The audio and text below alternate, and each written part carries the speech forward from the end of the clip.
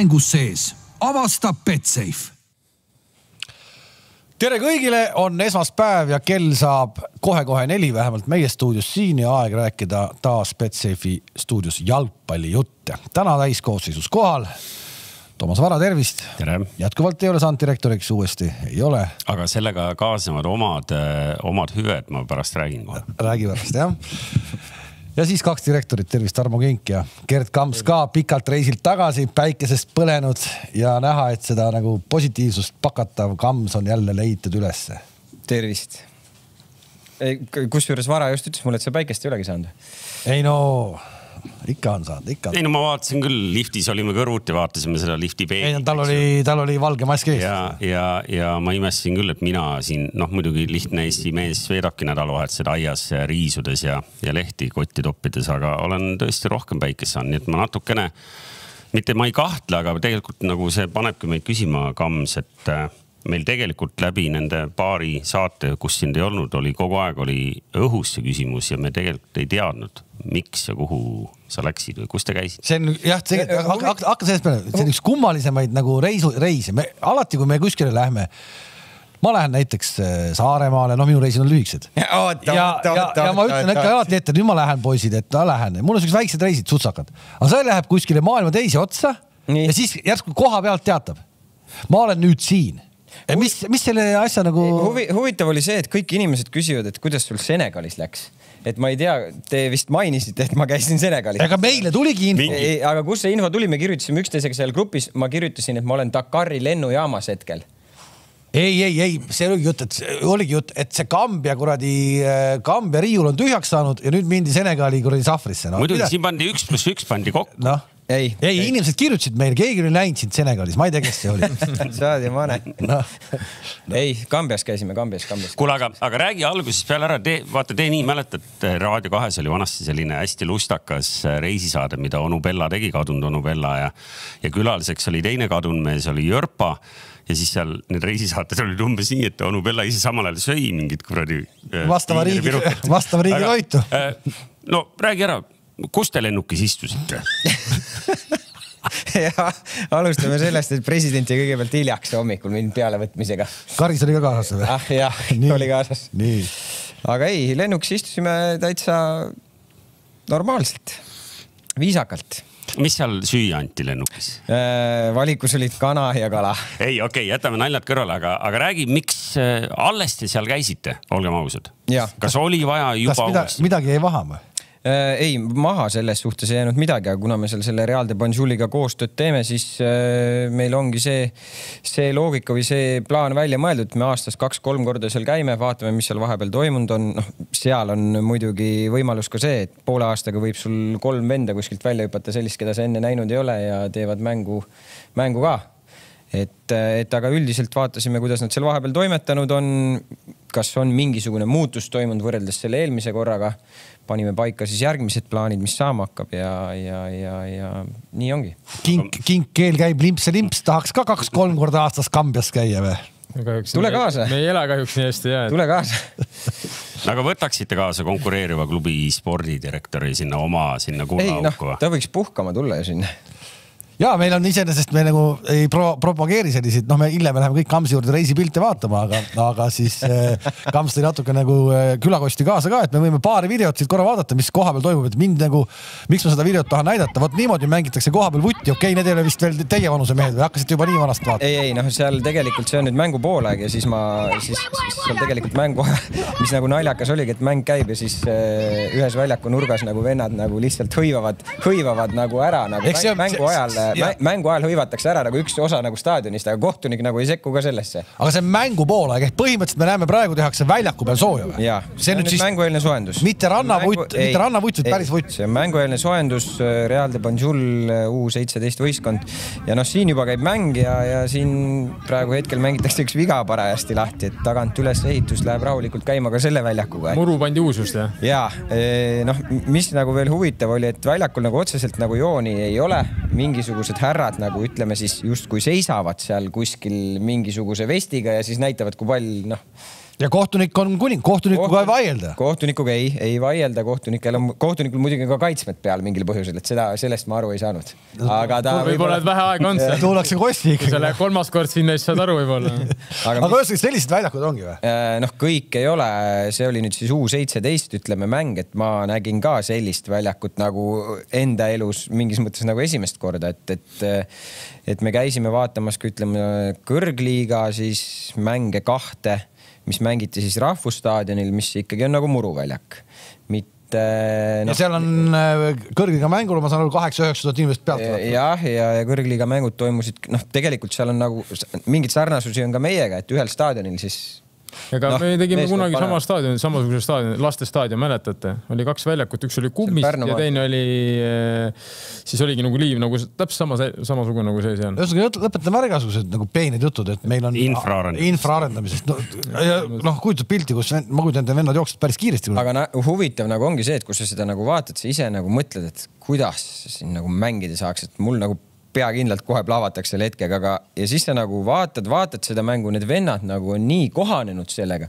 kõik puuted, kõik söödud, pikemad söödud, lühikesed söödud, et pall ei põrka kuskil, et nad saavad nii hästi aru nagu, et mida see väljak tähendab ja kuidas seal nagu toimetama peab. aga mäletate, meil oli vanasti siin juba aastakümneid tegelikult äh, räägiti seda, et, et miks meie see esimene taasiseseisvumisjärgne põlvkond ei olnud nagu tehniliselt väga osav, see oli sellepärast, et selliste mätaste peal treeniti vanasti ja palli pidi kogu aeg silmadega jälgima, sa nagu. no aga, aga nende meeste tehnika on kindlasti väga hea ju. no just, nüüd meil nagu demonstreeritakse, et mängitakse nagu siin põhimõtteliselt luite peal, eks ju, ja, ja sa ütled, et nende meeste tehnika on nagu okei okay.. ei, on okei okay, jah on okei okay, jah, ma ei tea, palju te siin näinud olete, seesama see üks noorkutt, kes meil on see Singate, et see on päris päris huvitava tehnikaga. Aga mis, nii ja palju mis... siis nüüd äh, neid tulemas siia on nüüd siis kaitseliini parandama? palju teil üldse mahub veel? ei, hetkel, hetkel meil ei ole otseselt kedagi tulemas, et me käisimegi, monitoorisime jälle äh,.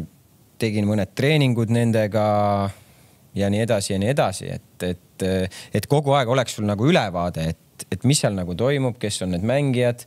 ega ma seal noh, mis, mis seal veel huvitav on nagu, et seal Real de Banjulis on ka, et sul nelikümmend venda on reaalselt trennis nagu nelikümmend. mitu treenerit? nelikümmend venda, no viis treenerit, aga noh, ütleme nii, et kaks või kolm, kaks või kolm venda on sellised, et noh, nad ka vaatavad, mis siin toimub, et, et, et, et huvitav ongi, et staff on hästi suur, aga siis kaks-kolm venda nagu toimetavad ja ülejäänud vennad seal. no nelikümmend meest ikkagi ei ohja ära, see pole võimalik, et, et kõigil huvitav oleks või on või? ei, noh, see seal. nelikümmend on ikka väga suur number. seal on jah nagu ja siis need, need vennad veel, kes nagu ütleme, kui see läheb mänguks nagu ütleme, seal pannakse üksteist, üksteist mäng, siis need, kes nagu sinna eem, nagu jäävad välja sellest mängust isegi kui see nagu ütleme, väljakul mingi osa on vaba, siis need vennad istuvad lihtsalt seal põhimõtteliselt puu all ja vaatavad mis toimub, et, et sul on nagu viis treenerit, et võta siis need ülejäänud vennad, et tee nendega midagi, aga ei noh, mis, miks ma ikka teen nagu aga huvitav kõrgliiga mängul oli see, et nagu sa ka mainisid, et Ramadani aeg tegelikult mängud olid kell üksteist õhtul.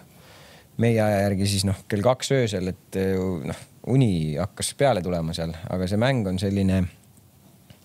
positsioonirünnakut näiteks mängus ei ole positsioonirünnakut kui sellist ei ole, et kogu aeg on selline. joostakse pall. ühe väravalt teise alla ja, ja tegime sellise huvitava eksperimendi ka, et ähm, panime stopperi käima. ühes mängus esimesest, esimene poolaeg, kolmteist minutit kulus sellele, et keegi rullis mööda väljakut, arstid ja füsiod jooksid väljakule, kolmteist minutit. iga kontakt põhimõtteliselt viga, mängutempot ei ole. ja see nagu, see nagu, sa nagu see on nii raske seda mängu vaadata, sest iga natukese aja tagant on mingi aga seisak, mingi seisak, see, seisak. aga vaata, see on nüüd jälle teistmoodi jälle see nii-öelda kuidagi ei käi kokku selle omaaegse äh, Aafrika vutiga, kui nad tulid, mäletad ju, Kamerun ja kes siin aga tulid, kõik arvan, olid ilged põkid. ei ja..., ma, ma arvan, et Kalev, see on ka võib-olla ütleme noh, riigiti erinev. see on riigiti erinev, ma arvan, et see ei, see ei ole kõik Aafrika riigid kindlasti. ja siis, kui vaadata seda Aafrika karikat, siis seal nagu noh, see on ikka jõhker andmine no. seal nagu valgel mehel pole väga midagi teha, noh.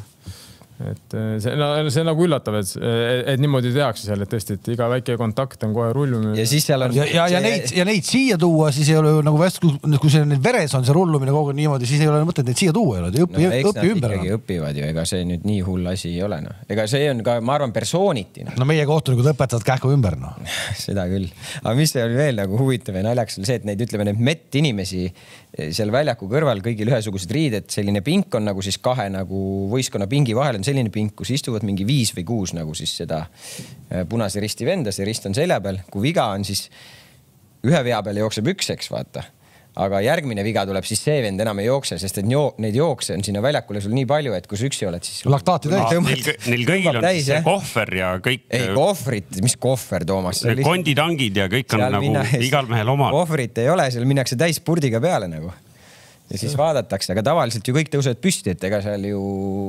nojah. ühesõnaga kõik paranemised toimuvad sellise nagu no, sisendamise okay.. vietamishalvi ja. kaheksa kuni kümme tuhat pealtvaatajat. okei okay, noh, tehke järgi. no vaikselt juba teeme ju ei on, on, tuleb, tuleb. käisin, käisin, äh, ma ei tea, millal me sinna järjega jõuame, ma tahaks nagu kibelen juba rääkima, et käisin Tripka peal jälle. ei, ei no me siit sujuvalt nüüd lähmegi, et me kuulasime nüüd reisijutud ära ja, ja. no meil tegelikult on, kui me vaatame nüüd äh, läinud nädala peale, meil on tegelikult päris palju mänge toimus, et me neist kõigist väga detailselt rääkida ilmselt ei jõua, noh, nii palju mainime ära, et, et äh, siin juba kommentaariumiski mainiti ära, et noh, kuna nüüd Biden, eks ju, kaks mängu järjest võitnud et noh, siis on kamps tagasi ja on, on selline enesekindlusest pakatava näoga, eks ju, mille, mille mõni ajas ekslikult segi päikse sellise põletusega. ja aga no ütleme, et räägime siis Paide väravatest või nendest mängudest siis või? no ma ei tea, tahad sa meil rääkida, Paide, me siin viimati, kui siin nägime, siis oli selline tunne, et, et võib-olla hakkame varsti esimest treenerivahetust nägema. see on see sinu tunne, ma ei tea okei okay,, aga Tallinna Kalev lõi teil ikkagi kaks, on ju, see on see mure. Tallinna Kalev ei löönud meile kahte kes.... Pärnu Vaprus. see on Pärnu. ja sellega kaks, ei saa sealt, see on selge, sellega sealt mängust ei saa rahule jääda nagu, et, et seal ei ole mingit küsimustki nagu. no teine muidugi oli ju noh mis sa seal ikka väga teed, inimene läks. ei vaata, aga kui sa nüüd vaatad seda olukorda, kuidas see olukord nagu tegelikult Tarmo tekib, nagu see on nagu ikkagi, ikkagi mingisuguste, mingisuguste valede otsuste nagu tagajärg nagu. ei, seda kindlasti ja, aga eks see seis. et me pressime, noh ja ma muidugi sa saad natukene... sa, sa tead ise nagu, et kui sa juhid suurelt, siis ikka läheb see natuke, et ta, ajad, ajad neid väravaid taga ja kõik tahavad väravaid lüüa, siis ei kaitsta, aga, aga päeva lõpuks sul peab olema see distsipliin nagu mängu lõpuni, sa ei saa lasta, et sul lööb Pärnu kaks noh nõus, nõus. nii, no mis veel on vahepeal juhtunud Paides, et äh, direktorid olid ära, eks ju, väravaid tuli, võidud tulid äh,. mis see näitab äh, meeskonna kohta? kuidas ära? ma ju olin viimased kahel mängul kohal ju. aa, noh. siis sellest... kui mind ei olnud, siis me kaotasime Kurele jumala, sa ikka eksid. natuke on jälle. see on see, kui sul ei tee, ei tee kuradi. ja aga nüüd põhimõtteliselt. teeb ju aiatöid. kuule, aga, aga Kams, aga nüüd, nüüd tuleb kaks mängu järjest Floraga, et eh, kui sa nüüd vaatad Florat praegu. okei okay,, punkte nad ei ole kaotanud, onju. aga neile lõi Tallinna Kalev kaks, onju. nii, eile lõi neile Tammeka kaks. kaks eh, mitte suurt meeskonda on neile kahe mänguga juba rohkem löönud, kui neile terve esimese ringiga löödi. ehk mida ma tahan öelda praegu on, on see hetk, õige hetk, kus neid kägistama hakata no seda näeme neljapäeval, aga nagu ma olen öelnud, siis me tahame karikat võita nagu ja. kas te lähete mängima, okei okay,, te lähete ikkagi teada karikat tahate võita, te ühel lähete võidu peale seal nii-öelda, et ei hakka seal nagu ootama, vaid lähete ikkagi mürgliga peale. minu arust Tammeka näitab väga hästi ette, kuidas kuidas tuleb minna peale hooga? no ega sa ei saa Flora vastu nii ka hooga peale minna, et sul. kuidas sa võid isegi, sa võid isegi kaks tükki, sa võid isegi kaks tükki ette anda, midagi ei juhtu. kontra pealt hakkab tulema seal, et. kuulge, ma ei tea, see. tasakaalus hoida no,. pigem see küsimus, mida, mida Kalev nüüd teises sõnastuses küsis, on see, et kas sa eilsest mängust või, või siis äh, Flora üle-eelmisest mängust, kas te tegite nagu mingeid märkmeid või te, räägi meile nüüd ka natuke, mis. see seal, ei ole, Toomas, minu töö teha Flora mängudest märkmeid. no kuule, see on sul ikkagi nagu lihas mälus. ma tean, aga, aga, aga ma ju tean, ega, ega mis äh, mina ja Tarmo ju teame, kuidas Flora mängib, me ei pea seal, nad, nad ei hakka järsku mängima kolm, viis, kahte või neli, neli, kahte või nad on sellele enda asjale ju kindlad lõpuks, et nad ei, selles suhtes ma ei usu, et seal nüüd mingit ilm, mingit suurt muutust nagu tuleb. Nad mängivad oma mängu, seda, mida nad kogu aeg mänginud on, nad usaldavad seda plaani, et seal ei ole. küsimus on selles lihtsalt millise plaaniga siis meie sinna läheme. kas me kaitseme alt, võtame nad vastu, mängime kontra peale, üritame neid ülevalt pressida. see on, no, see on kõik, see on kõik nüüd ütleme lähipäevade töö käigus saab selgeks no ma vaatasin seda Flora ja, ja Levadia mängu, siis Flora pigem andis initsiatiivi Levadiale onju. nii, millest me oleme ka varem rääkinud, et äkki peakski endaga niimoodi mängima. nagu Levadiaga või? ma ei tea, noh, eks see kellele mida nagu, kellele mida. no Paide mängis ju samamoodi meie vastu. Yeah.. Paides, ega nad ei pressi meid kõrgelt kordagi peaaegu. korra üritasid, aga ei töötanud väga hästi, aga mis Flora puhul nagu noh, võivad üllatada, et nad võivad ära anda initsiatiivi, mäletate eelmine aasta enne, enne karikafinaali, kui me kaotasime neli-kaks neile, no kolmkümmend minti, no nad tegid muidugi ideaalse mängu ka, nad tegid kõrget pressi, onju väga hästi panid, pluss. no kõik... siis, kui nad seda Dolordavat seal. jah, no vahet ei ole, lihtsalt nad on võimelised ka nagu, nagu natuke muutma, et selles mõttes nad tegid ja kõik õnnestus ka muidugi selle kolmekümne minuti jooksul neil, et kolm väravat ja pluss seal ilmselt oli veel mingi moment ja ma arvan, et, et nad võivad ka muuta, et nad on ka selleks võimelised selles mõttes, et peab selleks ka valmis olema. ei nojah, küsimus on pigem selles, et ütleme, et need seda suurt nagu ütleme. ei mängu, mängu oma. joonist nad ei muuda jah, et sa saad muuta seda, et kas sa pressid kõrgelt, kas sa pressid ma ei tea, keskvälja kõrguselt, kas sa vajud alla nagu. no aga ikkagi kahe mänguga ja tagumise otsa satside vastu neli väravat, et kas sa täna näiteks, Tarmo, kas sa näed, et äh, nendes kahes mängus oli midagi teistmoodi kui siin selles esimese ringi ajal, mida me olime harjunud nägema? no nad ise on ju öelnud, et eh, natukene on seal eh, mingid asjad, konspektid on sassis või, või ei ole midagi seal mängijatel kohale jõudnud, kuna ühte mängu ma ei saa väga tõsiselt arvestada, kuna ta pani ikkagi, ütleme koosseisu peale, kes po tavaliselt. aga poolajal tulid ju Tamm sisse, kas Kostja tuli ka Kost... poolel sisse? ma ei tea, kas ta tuli poolele jah, aga noh, selles mõttes, et see ikka poolik mäng, et. sa räägid Kalevi mängust? just. jah -huh. et eh, ja seal oli veel momente, minu arust Kalev lõi värava või kaks isegi, mida ei loetud vist seal, et selles mõttes see on nagu aga ma arvan ikkagi, et eh, kui sul tulevad siuksed tähtsamad mängud, siis natukene on see ikkagi keskendumine on natukene teistmoodi, teistsugune, et eh, et no, eks nad ise teavad paremini niimoodi, mul on raske öelda, et ei, neil on seal see või midagi, ma ei, ma ei, ma ei nagu ja ma ei, ma noh, ütlen ausalt, ega ma ei ole niimoodi jälginud ka nüüd, oi, kolm-kaks või neli-kaks, ma vaatan nüüd mängu uuesti järgi, mis seal nagu, et. no vägisi ikkagi peame rääkima sellest eilsest mängust, äh, hüppama ajas kohe siia eilsesse ehk, ehk et no eile see tartlastega mäng, esimesed kakskümmend, kakskümmend viis, kolmkümmend mintse, ma vaatasin, sealt tuleb räige saun sest noh, mis iganes need tartlased seal teha proovisid, aga noh, sealt eh, nagu neil ei lastud eriti, eriti üldse midagi teha ja, ja, ja arvestades kaks-nulli seisult, kui mitu löömata jäi? no ikka jäi, jäi, no seal jäi see väravaht ka ette. see mäng oleks võinud samamoodi nagu, nagu lõppes siin mõni teine siin viimases voorus seitse-null ka lõppeda, eks ju. ja, ja siis ühel hetkel kuidas nagu Flora-sugune meeskond laseb nagu vastase niimoodi mängu tagasi, mina nüüd harrastusvaatleja, tunnistame ausalt, eks just noh, ma vaatlesin ka tripka peal toimuvat, millest ma räägin eraldi, sest see oli tegelikult väga meeleolukas eile, kusjuures ilma irooniata, vaid just nimelt heas mõttes. siis äh, mulle jäi mulje, et, et äh, vennad arvasid, see mäng on tehtud Ja meenuta sama..., meenuta eelmise aasta äh, Paide kolm-null olid. ei, seal on noh, vaata, kellele, sa ei saa näiteks vanameister Kostja Vassiljevile, sa ei saa ette heita, et sellises viiskümmend, viiskümmend olukorras ta ei jäta jalga sinna sisse, eks ju, noh, et ta kaks-null, noh, ma ei lähe, eks ju, seal lõhkuma iseennast ja võib-olla ka kedagi teist. aga ka nooremad vennad ja siis ühel hetkel tundus küll, et ohoh, et, et, et noh, kuna tartlased hakkasid seal natukene paremini nagu õnnestuma ka ja, ja tuli seal noh, kas poolkogemata või mitte, tuli esimene värav ja pärast teinegi, eks ju. siis tegelikult nagu ei olnud väga nagu noh, sellise nagu top-top meeskonna nagu mäng selles mõttes. ja, aga sa pead nagu... ikkagi nagu, sa pead ikka minu arust nagu Tartule nagu Tammekale ikkagi ka mütsi tõstma, minu need mängud, mida nad lähevad mängima, mida ma näinud olen. Eh, just nagu, nagu noh, nii-öelda suurte vastu, nagu täna teame, et on ikkagi suured meeskonnad. Paide vastu, teie vastu, esimene poolaeg nad, nad, eh, nad tulevad seda mängu mängima, noh, nad tulevad mängima, nad ei tule seda lihtsalt sinna ta... luiguta, luigutama sinna, nad aga... tulid eile Flora vastu, mis siis, et nad olid null kaks, nad ikkagi panid. aga eile no. Flora vastu nad said seda nii-öelda oma mängu mängida alles siis, kui Flora andis neile selle mängida, sest äh, ma ütlen, mul oli oma peas esimese kahekümne minuti äh, peal. Nad oli tuli... mul välja mõeldud kõik pealkirjad, millega täna siia tulla. Nad tulid ju kahe kontraga, nad tulid ju eile kahe kontraga, kahest kontrast tuli kaks esimest väravat ja kontratest jäid löömata ka ehk nad andsid seda, samamoodi andsid seda mängu või Tartu võttis seda palli. ja ei no noh. vaata no. nüüd, nüüd, kes seda mängu pole näinud, kuulab sind ja mõtleb, et noh, Flora käis kaks korda kontoris ja lõi kaks väravat või? no ei olnud ju nii ju. ei no ta ei, noh, ta nii ei olnud, aga midagi ju. tartlased esimese kahekümne minuti jooksul keskväljal ei suutnud kolme söötu panna järjest no ja aga... ega noh, meie vastu ka, oleme ausad, kui nädal üks-null oli küll seis, aga noh, see oli täielikult meie kontrolli all see mäng, et ega neil ei teinud nad kõrget pressi, üritasid, väga lihtsalt tulime välja, et ega seal neil nagu midagi küll nagu kaasa rääkida väga ei olnud. aga Kalev, kui sa mõtled nagu Tartut, et äh, enne seda uut peatreenerit Portugalast Kaido Koppeli ka, ta alati tahtis mängida ju seal ei olnud seda, et me, me lähme istume all, paneme pika ette, äkki me midagi saame, ta tahtis mängida, samamoodi tahab see portugallane mängida. eile oli näha. muutus, mis neil muutus mäng äh, Kalašnikovsiga siis oli puhtalt tulemuse orienteeritud, nad läksid kohe nagu sirgjoonelisemaks, aga praegu sa ja, näed, et neil on mingi on, kindel. Neil on normaalne koosseis yeah. ka selles mõttes, ega me ütlesime, ma loodan väga, et no, no ma arvan, nad ongi sammu edasi teinud ja ütleme, et nad ongi see keskmik, kes tõesti nagu võibki nagu näiteks Flora vastu on ju natuke jäi puudu, et nad oleks võinud näpistada.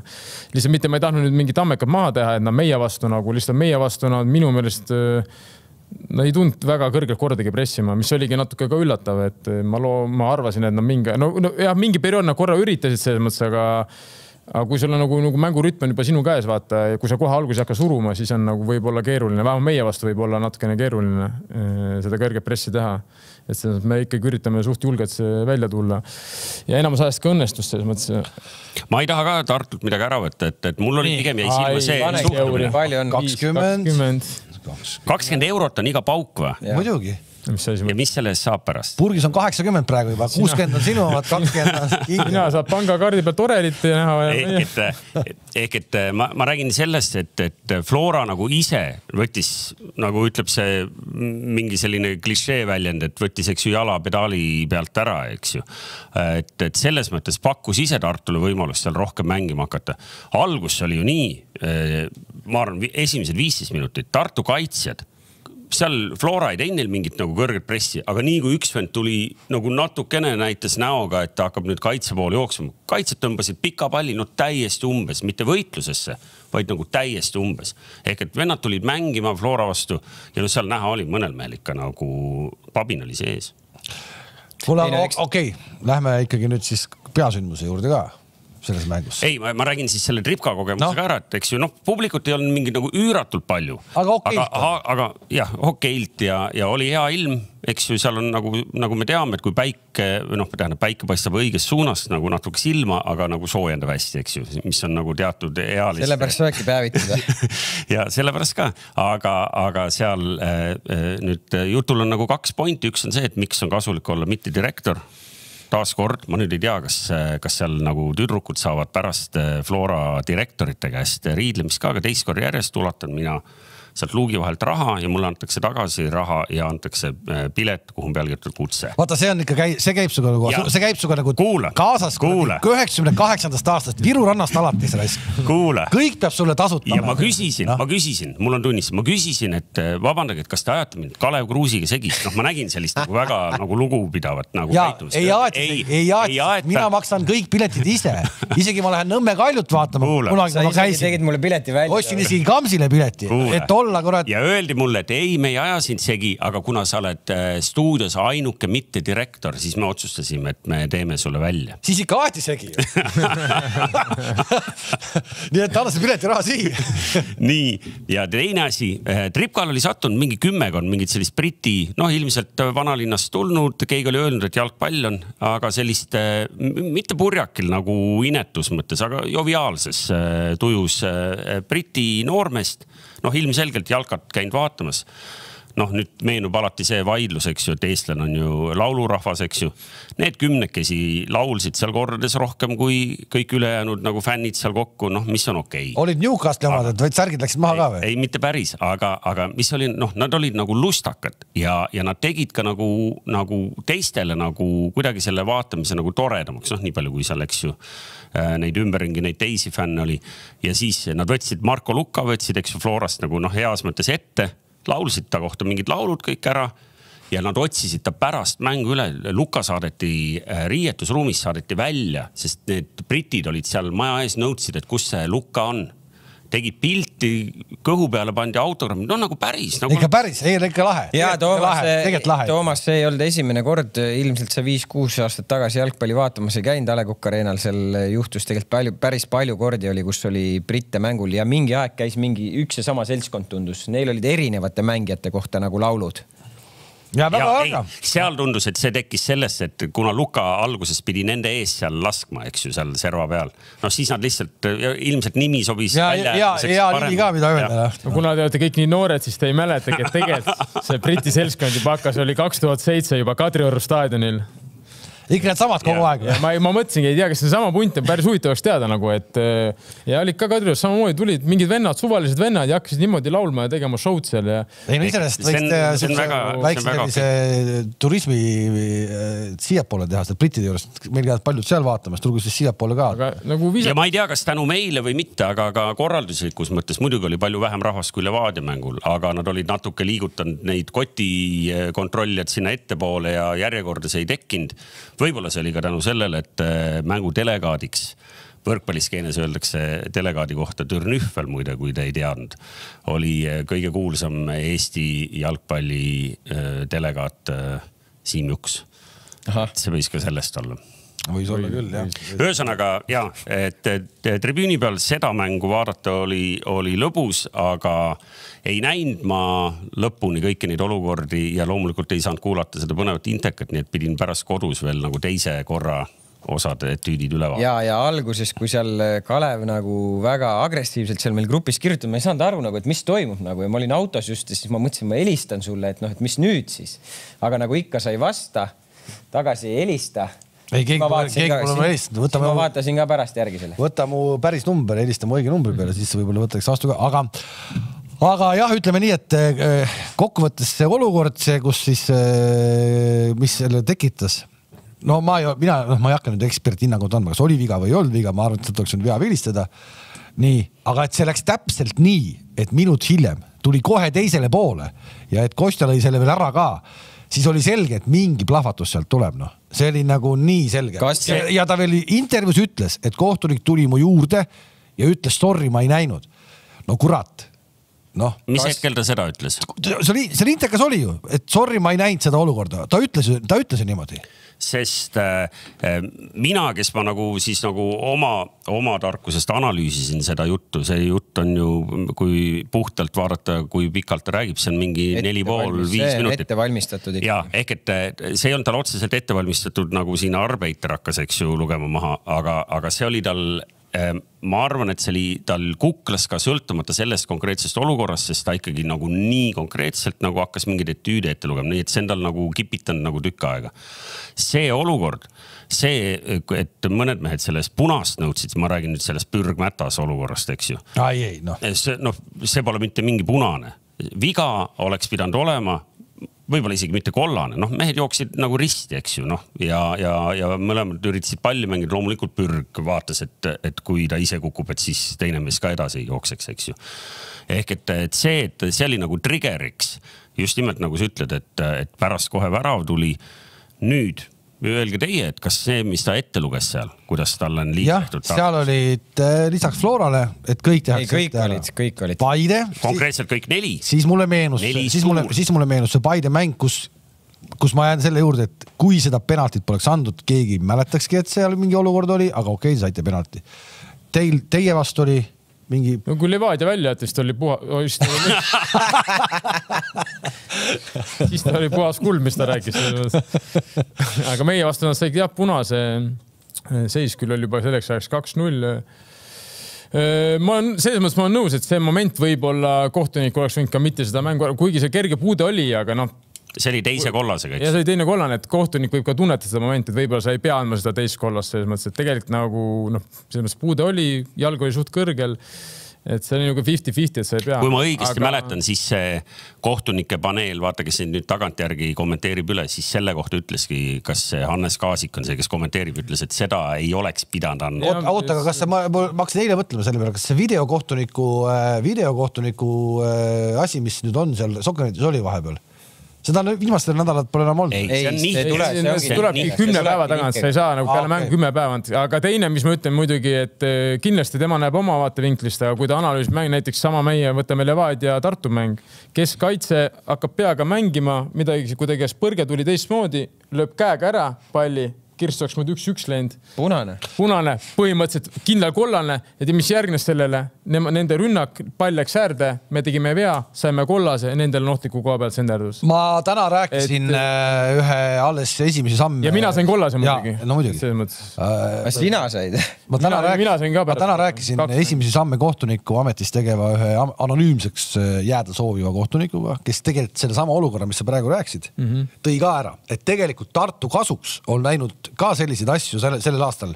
noh, ta on nagu kõik läbi vaadanud need asjad, pluss siukest penalti, ma ei mäleta, kelle mängus nad said selle, et see pidi olema siis selle hooaja kõige äh, kõige mõttetum penalti, mis üldse antud on, vist oli nende kasuks. ei no ma räägin, et kui sa nii hakkad võtma, siis sa saad igale poole seda, et äh, selles mõttes, et äh, aga mis ta, kuhu ta tahtis ilmselt jõuda, et ta ei ole nagu ma arvan, Eesti kohtunike tasemega rahul no põhimõtteliselt see, mida te praegu rääkisite, nagu kokkuvõttes tähendabki seda, et kui igatpidi me suudame ette lugeda nii palju nagu eksimusi või olukordi, kus ühele tundub, et tehti liiga ja teisel tundub liiga. käiakse nagu vabandamas või nagu isegi Tohver, kes seal peale meie tiitliveitlust seal vabandamas, et umbes, et ma ei andnud pennalt, et puhas pennal oli, no mis kuradi nalja teete, minu eest pole küll keegi kunagi vabandamas käinud nagu noh. ma ei hakka rääkima, kuidas Tedesco mängis, on ju äh, meie vastu keskkaitset, noh, see oli noh, see on noh, see oleks nagu mõlemal poolel talle punase anda, noh, ma arvan, ta vist sai ainult kollase noh. et see on nagu täis nali, et vaadake üle see video, no see on noh, see on nali, ma rääkisin kohtunikuga pärast mängu viisakalt, noh. mul ei ole vahet, mul ei ole nagu, mul, ma ütlesin, mul, minu jaoks see hetk, seis oli, ma ei tea, neli-null, ma ei tea, mis no seis, minu, mind nagu see seis nagu ei huvita, aga noh, inimene läheb konkreetselt meelega tegema, see idee, ta esimene vend, ta tõmbab maha meie vend lihtsalt oli tagant, sai palli kätte, läks uuesti, tõuseb püsti ja läheb meelega tegema. see idee juba iseenesest on talle punast väärt ja see, kuidas ta läheb, tal on kaks jalga õhus see kaks jalga õhus, see on punane puhas, siin pole midagi rääkida tegelikult noh. mul seis tehtud, mind ei huvita see seis nagu, seis oli ammu tehtud mäng noh. lihtsalt sihukese käitumisest ja no ma ei hakka rääkima, mis ta kommenteeris noh, see on nagu noh, see on nagu mis ta ütles, esimesele vennale ütles, noh, surid ära või ja siis no midagi sellist, ma täpseid sõnu ei tea, midagi teisele, kohe sul on nagu noh, ma ei hakka neid sõnu siin eetris kasutama, saad aru, samal ajal kui ta jookseb, ta räägib, noh ja äärekohtunik oli selle, selle nagu äh, poole peal, noh et see no sellised asjad nagu noh, need, need peab nagu ära vilistama, et see, ta no oleks võinud rahulikult ka trauma tekitada meie vennale, rahulikult noh. no väga põnev, mulle, mulle tegelikult selle, selle monoloogi või statement'i juures jäi jäi, mitte ei jäänud kõrvu, vaid noh, mida võiks siin ka arutada, vaata, tal oli põnev teooria, et, et eks ju Eesti kohtunikud hoiavad suuri klubisid, noh konkreetselt äh, suurteks. Lähevad, Euro lähevad Euroopasse ja, ja saavad vastu. jah, ja et selle kohtunike nagu, äh, nagu suhtumise juures on noh, kui nüüd siin Paide läheb äh, üks päev äkki karika võidab ja läheb Euroopasse, eks ju, siis teil läheb seal raskeks. kas nagu meenut-, meenutage Aide see Kamps seda näiteks Pärnu mängu, mis te Pärnus mängisite nende suurte poolakate vastu, oli ju valus küll ju füüsiliselt ju. oli küll, aga ma küll ei mäleta nagu, et sa nagu kohtunike otsuste peale või kuidagi sa seal nagu jonniksid, et miks ta ei anna nagu või mina ei tea, ma ei, ma ei mäleta nagu, et kas seal nagu sellel jutul nagu mingis mõttes nagu mingit tõde on, et noh euromäng on euromäng, sa tead, et sa tead, mis sealt sind juba ju suuresti ees ootab, noh, me teame, poolakad tulevad, poolakad on ju füüsiliselt tugevad, kontaktis mängitakse, noh, sa ei saa seal, kui sa seal hakkad äh, iga, iga, igasse olukorda lähed niimoodi, et noh, kardad seda füüsilist kontakti, siis sa ei saagi mängida seda mängu ju. ehk et sa arvad, et äh, Eesti kohtunikel ja noh, siis üldiselt Euroopa ma, ma, kohtunikel. ma lihtsalt tahan nagu seda võib-olla öelda, et äh, ma, ma ei tea, minu, minu jaoks on Kristo Tohver Eesti top kohtunik ja, ja päeva lõpuks me võime vaadata ükskõik, okei okay,, mujal riikides on varrid ja asjad, mingid need käeolukorrad, need ongi ilmselt mõned sellised keerulised, et noh kuidas seda siis nüüd nagu lõpuni tõlgendatakse ja ma ei tea, mis asendis see käsi on, sa ei saa minna seda telekat vaatama. kusjuures Tohverist rääkides ongi nii, et vaata, et meil eilse mängu järgselt tekkis nagu suur selline nagu elevus, eks ju. ma ei taha öelda, et skandaal, aga, aga noh, kui sa hakkad mängu sedasamat, jätad selle pürgi ja mätase olukorra kõrvale, noh, ma ei tea, oli seal veel midagi, mida saab nagu kohtunikul näidata. pingil, Tartu pingil ei meeldinud seal varem ka paar etüüdi. aga, aga tegelikult noh, oli tavaline nüüd ongi küsimus, et kas tavaline mängu... ongi nagu piisava kvaliteediga kohtuniku töö või ei ole, eks ju. ei, ma arvan, ta ei oleks seda eile seda statement'i veel teinud, ta oleks hoidnud seda veel riiulisse, kui ei oleks seda olukorda olnud lihtsalt. ma arvan ka ja, et, et lihtsalt praegu langes kõik kokku ka muidugi, et no. tuleb kohe hiljem tuleb laks vastu ja värav ka no,. täpselt samast olukorrast, noh, põhimõtteliselt. see oli nagu... see, mis muutis kindlasti miks ta, miks ta niimoodi reageeris, no mis on arusaadav, et eks ta tunnetab öö, omal näol paremini, kus need vigu on tehtud, eks igaüks vaatab oma nagu natuke läbi oma prillide neid asju, see on selge noh et.... aga kokkuvõttes, kogu selle loo kokkuvõttes on see loona nagu väga tore. me mäletame siiamaani seda Narva Transi. see oli seda... väga sümpaatne just, see statement, ma nägin, et see vend nagu noh, nagu ta, ta päriselt arvas. ja ongi. ja, ja ta ei läinud ka inetuks, just nimelt see, see oli sihuke sümpaatne ja, kirg, mitte ja. selline nagu soimumine, nagu meil siin no. üks vend see transpordiärimees, eks ju, aeg-ajalt jalgpalli peatreener, noh, seal nagu mikrofoni ees räägib, sa mõtled, mis asja aga seekord oli nagu sa said aru, mida ta rääkis ja sa nagu mõistad teda, isegi kui sa ei ole mingi Tartu fänn, eks ju ja et see nagu, nagu loona tore, see laseb, lisab kindlasti jälle seda värvi, mida me ootame lihtsalt mul nagu natukene lugesin välja sellest äh, statement'ist, et äh, noh, noh niisugune tunne, et ta vist nagu ma nüüd lähen minema, ma nagu enam ei jõua. ei, aga, aga meenuta see Narva no,, Narva, Narva, türklane läks ju ka pärast seda no, statement'i. see läks sellepärast, et ta oli täitsa lapõõritud statement, ta ei saanud üldse aru. aga mul jäi kuidagi niisugune mulje, et kuule, ma olen nüüd nii väsinud, ma enam ei jaksa. et see vend nagu ikkagi, ta jagab jalgpalli väga hästi ja ta on õppinud selles mõttes, et türklane oli lihtsalt kuradi šašlõki vend. Noh. et selles mõttes nagu mitte paha pärast, aga lihtsalt ta ei olnud nagu treeneriharidus, seda, see ju rääkis ju ise kõik see tuli välja pärast nagu noh. ma, ma, ma tahaks suga, sulle vaielda, Tarmo, sest mulle meenub, et ma olen seda Senk äh, Skani ei no seda. CV-d kuskil läinud, minu arust on kuskil Fenerbahce's või Galatasaray's isegi olnud nagu mingi. aga vaata, sellepärast see aasta Türgis tuligi mingi. mis asi ta on olnud? See... ei no need ise ütlesid, eh, narvakad, et nad ju said aru, et see nagu ei ole mind, ta ei osanud trennigi läbi viia. noh, nii palju on ikka meil. ta on Galatasaray skaut olnud, noh. Konjasporis chief scout. no ja scout ja olla peatreener on ikka väga erinevad asjad nagu. Adana no., Adana Demirspor, assistant Murillo, manager. Murillo alustas ka Sir Bobby Robsoni tõlgina kusjuures Senko Skan on olnud Fulhami assistant manager. no näed huvitav, mida ta tegi. no vot, mis me nüüd meenutame meest, kes on juba mitu aastat läinud, eks. see pole minu enda välja mõeldud mingi lugu, selles mõttes see on ju info, mis on laekunud ja see ka näitas ka tulemusi, mis siin nagu pole midagi. arusaadav, arusaadav, jääme siin. minu jaoks Santos on nagu selles mõttes, ta on ikkagi treener, harjutud treener, kes ikkagi teab, mis ta teeb ja mis ta räägib ja ilmselt ma olen kindel, et ka trennid on eh, väga hästi ette valmistatud ja ja ma arvan, et nagu ma ei ole küll, ei tea Tartu siseelu, aga ma arvan, et mängijad on ka temaga rahul. ma arvan ka, ma arvan ka. üks asi, mis ma eile Flora mängu vaadates mõtlesin ja, ja siis kodus tšekkisin üle, oli see, et, et kuna oli näha, eks ju, Kostja oli päris hea soos eile, noh siis sel ajal, kui Floral nagu ilusasti kõik sujus. mulle endale meeldis kõige rohkem Ženjovi äh, mäng, ma olen siin kunagi veel mingitel aegadel ka Ženjovi suhtes väga kriitiline olnud, eile oli ta väga hea. et käed lähevad põlvede peale kiiresti või? Noh, see oli sinu teooria, aga noh, pigem oli see, vaata, et nagu Kink ütles, et noh, teda ei osata nagu ära kasutada ja, ja teistpidi, et ta on ka natuke selline noh, suuremate mängude mees, et võib-olla tead iga satsi vastu ei, ei suuda ennast nagu motiveerida lõpuni. aga mul tekkis sealt hoopis teistsugune konstruktsioon ja miks ma läksin kalendrit vaatama, oli see, et noh, me teame, eks ju, et Flora on siin meie koondise nagu baas, eks ju. Ja, ja siin on vähem kui kuu aega on jäänud või enam-vähem täpselt kuu täpselt aega, aega on jäänud äh, koondise mänguni ja läksin, vaatasin, et noh, et, et ohoh, et näed, Flora mehed siin, Ženjov ja Vassiljev on hea soos, et noh, suurepärane, eks ju, siis vaatasin, et teiega mäng, Levadiaga mäng on vahetult enne äh, koondise pausi. noh, ja siis te kurnate meie koondise ära, eks ju. egoistlikult me ei kundnud, te võite, nagu, te võite ju ka minu satsis kuusteist venda võtta, mul ei ole selle vastu midagi. Te ju ei pane varumehi väljakule. Te võite ju kuusteist võtta Levadiast, et ei ole probleemi no..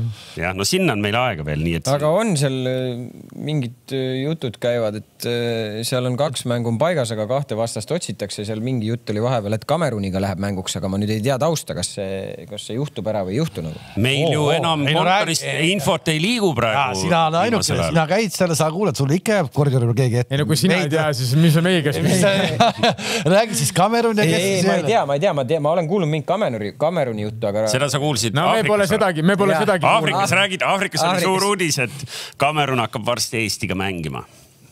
aga ei tea, rohkem ei tea. huvitav oleks näha muidugi Kameruni muidugi oleks muidugi minu pärast too see Kambjagi siia noh. kuulge, aga me oleme siin rääkinud, me oleme siin rääkinud Florast palju. no neil hakkab paus. Tammekast palju. Levadia on üllatanud. ja räägi siis, räägi siis ära, kuidas te lõite siis ühes mängus sama palju väravaid kui kogu hooaja jooksul kokku? No miks te nüüd nii siis alatult käitute? oot, oot, meil oli eelmine, eelmine nädal oli teemaks. Ei, kuidas see käib nüüd, vaata sa ise ütlesid üks-null, üks-null, üks-null nagu läks nagu raamatu järgi, järsku tuli kuus no aga võimalusi oli ka Narvale lüüa seal mitu tükki, ega see ei tähenda, et alati kõik ära lööda. nagu ma ütlesin, et ei, ega meil olid vahepeal rasked mängud, ei ole kerge kunstmuru peal mängida, eriti kui sul ebakvaliteetne kunstmuru nagu eh, üks-null, ma ütlesin, kolmkümmend kuus mängu, üks-null, andke karikas, aitäh. ei, saite kuus-null ju. nagu nüüd näed, lõime kuus. Narva oli väsinud jäi.... kas Narva oli nagu? eks Narval oli Narva ka oli palju, tundus, et nad, eks neil on ka karikamäng tulemas Floraga, neil vist oli seal no. Eh, mehi puudu kindlasti nad olid ka väsinud, need on põhimõtteliselt sama graafikuga pannud nagu meiegi mm, -hmm. kuna meil on lihtsalt sügavust rohkem. aga samas me mängisime ise, ma arvan ka esimese, esimese, no üks parimaid esimest poolaega, no kas ta nüüd oli meie parim ja pluss siis ka nemad, ütleme, olid tõesti väsinud ja olid seal keegi puudu, võib-olla langesid kõik kokku. aga ma arvan, me tegime väga hea nagu esimese poole ka, et selles mõttes et noh, oleme ausad, ega seal ju ma arvan, umbes sama palju ei löömata, no kolm sajaprotsendilist ei kindlasti löömata veel, et aga ilmselt iga mängu kohta võib midagi sellist, aga no tõesti sajaprotsendiliselt oli nagu kolm, noh, kolm korda üks-üks, kaks korda Lillu veel läks üks-üks, ühe korra Kirss. pluss seal veel oli veel võimalusi, kõik ei tule isegi meelde praegu, et, et läks ja natukene Narva poolt vaadates siis paljuks, minu poolt niisugune tavaline normaalne laupäeva õhtu.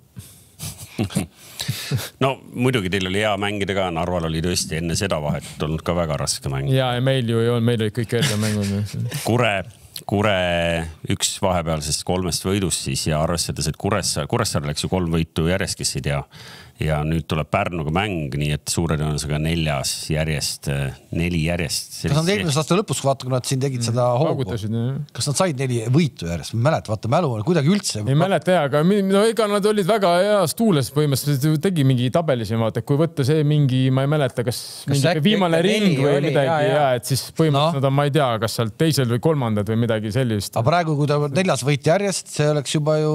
no, no, no Flora on kõik võitnud selles mõttes. siis olekski Flora Kivi, Al Kivi Alver kindlasti teab seda, ta ütleb ära, kas see on personal, personal best Kurele premiumis neli võitu järjest. millegipärast ma arvan, et äkki eelmine hooaeg oli. ma ei ole. see, see eelmine hooaeg korraks tundus, et sealt tuli mingisugune, ma ei vaata, ongi räägin. sellepärast ma ütlesin, minu jaoks pigem, ma räägin, ärge tehke noh sa mäletad või mitte, ma oleks nagu uurinud seda no okei okay. äh,, Kamskule äh,, ma, see, ma see korraks veel selle, mis teil selle, kuidas sa seletad selle lahti tavainimesele, üks küsis mu käest ka, et sa räägid, et teil on kaitses mure, mis teil siis nagu, kus teil lonkab? No, ennem Flora mängu, kus teil lonkab? võtame kasvõi näiteks selle Kure mängu, et väravad, millised meile lüüakse nagu, et noh ma ei tea, kas me lülitame ennast välja mingi hetk või me ei pea enda mingisugustest distsipliinist ja ülesannetest kinni, et seal on nagu nii palju nagu erinevaid asju, aga ma arvan, et päeva lõpuks kaitsmine hakkab mingis mõttes alati ju meeskonna kaitsmine hakkab nagu ülevalt, et noh, me peame ikkagi terve võistkonnana paremini kaitsma, see on, see on nagu selge nagu. nii, toimetaja on saatnud vahepeal mingi küsimuse või? Ei, ma proovin, ma proovin siit vaadata, et kui tuleb, kui tuleb vähe põnevamaid, mis võiks ka suuremat äh, ringi huvitada, siis ma loen need ette. okei okay,, kas läheme no liiga... nii palju võib öelda, et, et eks ju enne veel, kui liiga järgmisel nädalavahetusel jätkub, siis mängitakse karika poolfinaalid, mis on ikkagi mõne satsi jaoks väga tähtsad. oota, kus te mängite seda nüüd? A Le Coq's muru peal. see on nüüd muru peal. see on nüüd esimene nüüd muru. nüüd, nüüd läksime muru peale. miks te reklaamite välja see, et nüüd on kõik muruga ja kõik mängivad ikka korra seal? ei no mõned kodustaadionid jäävad, Leegion jääb on ju Sportlandi areenale, Kalju jääb hetkel vähemalt Sportlandi areenale. Kalev. ei, Kalev mängib Kadriorus meil on Kalevil Kadriorus okay.. igatahes vähemalt jalgpallilevel oli, et Kadriorus. tänane Äripäeva artikkel, et Belovil on nagu e-, ettevõtlusega kõik halvasti, tähendab midagi ka vutisatsi jaoks no ta ju ütles seal, et see, et ärge, kuidas, kuidas ta seal artiklis ütles, et need on kaks täiesti eri asja? et ei pea kokku viima jah ja.? iseenesest mul on sellest äh, nagu, nagu ikkagi füüsiliselt on kahju siukse nagu kuidagi ehitad ja ehitad ja siis on niimoodi paha lugu ikkagi ei no muidugi, ega me ei no. taha keegi, et siin klubi mingil, mingil põhjusel pillid kotti paneks et.... aga ma arvan, et äh, nad ei pane pille kotti, sest mängijad ikkagi suuremalt ju oma noortega Noorte,, et äh, ma ei usu, et seal mingi palgafond nüüd väga suur on. et ma arvan, et nad ikkagi rahulikult teevad tööd edasi, et midagi, mida, midagi hetkel vähemalt see aasta ma ei tahaks küll uskuda, ma väga loodan, et, et, ei juhtu ka nagu midagi. oota, aga ütle Tarmo korra uuesti, et kas teie vastu Narval mingid mehed puhkasid ka või, või kas, kas nad... olid vigastatud, ma ei tea, no seal oli mingid mehed, ma ei saa öelda, ma, ma ei ole nagu, ma ei jälgi nagu teevad niimoodi nagu meeskondas, et kes neil nüüd täpselt põhimehed on, onju. kuskil joonistub välja, onju, Flora vastu sa tead enam-vähem, kes on põhikoosseis, onju. ma tean Paide, kes on enam-vähem põhikoosseis, onju. No, aga ma ei oska et... Narva, Narva nagu põhikoosseisu, noh, ma ei, ma ei, ma ei oska nagu öelda, kes see täpselt põhi on, aga ma tean, et seal oli, seal oli mängijaid puudu, paljud neist nagu põhimehed on, noh, ma ei oska seda öelda. ehk et see kolmapäevane no, poolfinaal on neile ikkagi ka väga tähtis. tal oli tegelikult puuduse linsi, see üks keskkaitsja, kui ma vaatan praegu seda no, mängis Nesterovski mängis tema asemel. et selles mõttes nagu minu jaoks on see Nesterovski parem keskkaitse mm, võib-olla. Aaloe oli olemas, teisele. Käos oli olemas, Iirje mängis. Iirje mängis, Karljuka mängis, siis see Brõmov mängis ründaja. aga Ukraina poiss. Äh, mängis Raivo Saar oli selline võib-olla, kes neil tavaliselt ei, ei alusta pigem. jah, ei alusta. kaks, kaks venda kuskil, ma arvan, noh, niimoodi kaks-kolm, oleneb. ühesõnaga ta ei teinud seda, seda liigutust ikkagi tehtud. ei, nagu ta ei pannud ja, et no okei okay,, väravaht on ju, oli noor, Pavlov ei olnud. no Matrosovit ei olnud, noh, aga, aga Pavlov on hea värav. väga hea värav, et, et ma räägin, et noh sest noh, see kolmapäevane on igal juhul on Narva jaoks hooaja kõige tähtsam mäng. mitte ainult Narva, Narva, Kalju, Paide. no ei, ma mõtlen noh, Narvast rääkides praegu, sest eh, noh, ma tahtsingi kuidagi küsida, et, et, et teemat kuidagi hoida, et, et kumb see favoriit hetkel on, Narva kodus, Kalju läheb, Kalju on siin olnud suht tubli, noh, kuigi viimases voorus, eks ju, siin nagu pööraselt palju ei paugutanud Pärnu vastu, pehmelt öeldes. üks-null. ei no võit on võit. ega väga huvitav mäng tuleb seal, noh, selles mõttes väga huvitav mäng noh kumba sa eelistaks äh, Paide linnameeskonna spordidirektor? tahad, ma ütlen, vastan ise ära või no,? tahad karikat võita, tuleb kõiki, kõiki võita. õige, õige, me võime ka, mis ees, kõik need robotlaused ära öelda. aga mis ma siis ütlen? Äh, ma ootan, et tuleks Narva no raudselt ootad ei, aga miks, miks, miks ma, miks sa arvad, et Narva, miks sa no, tahad? vaata, Kalju no,. kui ta oleks sulle öelnud, ma loodan, et Flora võidab karikafinaali mis sa siis et ah,. õige, teile sobib ju, et äh, Flora võidab Paide. siis on Paidel korra, Paide selles mõttes on kõige parem nagu position. Paide. finaalis on niikuinii. finaalis on kindlasti, kas nemad äh, peab võitma või see on Flora, et neil on nagu kaks varianti. sellepärast ta istub nii tüünelt ja siin nagu muigab ainult siis, kui me üritame siin nagu. kus see Trans üldse mängib, nad mängivad seal kunst-. Mängivad seal Kreenholmis või? ma ei tea tõesti, ära küsi mu käest kui no ma kujutan ette, et kui Kreenholmi no seal... mis, mis muru seal on nagu? no seal ei ole muru minu suvelgi, et no ma ei tea. nagu me ju alles nägime Kamsi reisipilti. saab mängida, küll. ma ütlen, et see võib isegi parem olla, kui see hetkel see Kreenholm seal on mudasem. ei no vähemalt sa nagu oskad oodata seal, sa nagu, seal on reaalselt Kreenholmis eelmine aasta oli, no see oli niimoodi, et see oli sihuke auk, et Saka võis ära kaduda, nii et sa ei näinudki nagu. kumma, kumma võistkond Saka? tõmmake välja. kumma võistkond Saka? meie Saka nagu ausalt, see oli selline auk, kohtunikud enne mängu, no muidugi ma rääkisin kohtunikuga, no mingi asi sinna pannakse, ma ei tea, kuidas seda nimetada Kana,. kanalisatsiooni no,, kanalisatsiooni luuk. no kujutad ette, Eesti kõrgliigas on äh, sihuke auk väljakul, et sa pead, täidad selle liivaga ja siis paned alla. aga mis, mis selle augu nagu tavaelu põhimõte on, seal käiakse no, midagi kaevamas? see oli kastmise mingi asi või ei olnud või? ei, kastmise kunstmuru, need latakad peal, vaata noh no see oli mingi täitsa nagu müstika nagu, no kohtunikud olid ise õnneks ka, käisid väljaku vaatasid üle, ütlesid, jaa, Tarmo, et see on nagu nali, et see kuidagi see täideti ära või tehti seal midagi. no aga ma räägin, see on nagu noh, see oli ikka reaalne auk, kus ikkagi võib väiksem mängija võib ära kaduda no.. okei okay,, kuule, aga siis äh.... palju Paide publikut tuleb neljapäeval sinna A Le Coq Arena'le? palju loodame no kuida-. aga kuida-, viissada no,, ütlen sulle, ma ei, ma ei oska mind, ju, ma ei, ma ei oska ju nagu spekuleerida. nagu,. meil on oma fänn, meil on oma ju fänni mingisugune rühmitus, kes tegeleb nende asjadega, siis nad ju omavahel lepitakse kokku, tellitakse ilmselt buss ja mingi arv ju raha sinna tuleb, üks aasta. ja, ja vaata, et sa ei nihverdanud selle bussi peale kuidagi, et jälle tasuta sisse saaks no, Nõmmelt. Saate Nõmmelt läbi tulla. Ja pärast tagasi ka viia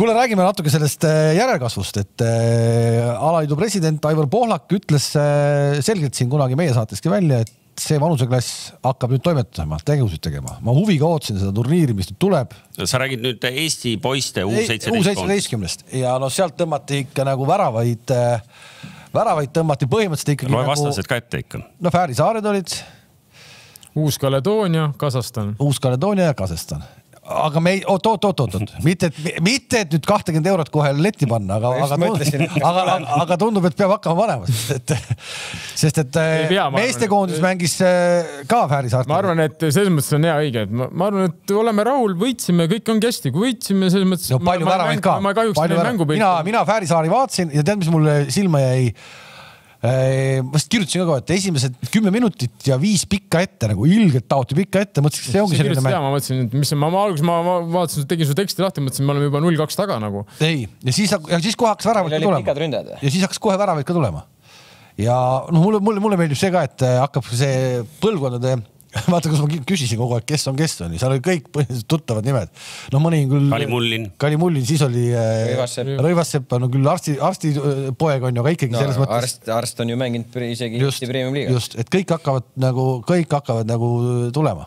Äh, põhimõtteliselt sama, kes Kristal mängib teil juba, eks ole, ja nii see käib ja Kossus on ju meil samamoodi seis, et kõikide pojad on nüüd täna juba tegijad ja, ja muud moodi Kossus, Kossus mm ehk et ma ei tea, kui palju te tegelikult jälgisite või kas need poisid, keda me sealt praegu nagu noh, nii-öelda nägime mängimas mm, -hmm.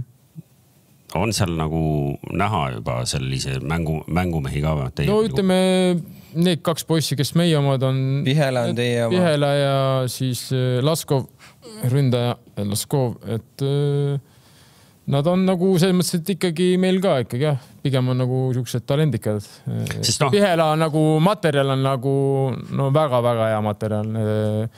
õigesti tööd teha. noh, tast võib tulla täitsa nagu tasemel hea keskkaitsja, et selles mõttes, et ta on muidugi teinud praegu nii suure arenguhüppe ka selle poole aastaga, et, et ta eelmine aasta mängis ainult U seitseteist vanuseklassi nagu ja nüüd mängib. oota, ma ei saanud, ma ei saanud ikkagi vastu, kas ta isa, isa on Priit või? jah, vist on jah ma tean, et õde tegeleb kergejõustikuga. ja, ja siis on, siis on Priit, siis on Priit on vana kossumees, minu trennikaaslane, kõik on, ma räägin. et eh, no see on nagu materjali mõttes on nagu mega ja ma räägin, just tahtsin öelda, et ei tea, kas ta suudab ka sellist hüpet ega muidugi edasi areneda, sest eelmine aasta mängis U17 ainult liigat, nüüd mängib duublist põhis põhimõtteliselt kõik mängud, meile väga vajalik mängija. et eh, ja suhtumine kõik on ka väga pärjatki ja nagu ma räägin, perekond on ka sportlik, et ilmselt seal on nagu asjad on nagu paigas. et on, on hea materjal jah, mille pealt, millega tööd teha noh. kas mõni Paide poiss on ka või? ei, peatreener on Paide linnameeskonna abitreener ja Paidest poisse ei võta.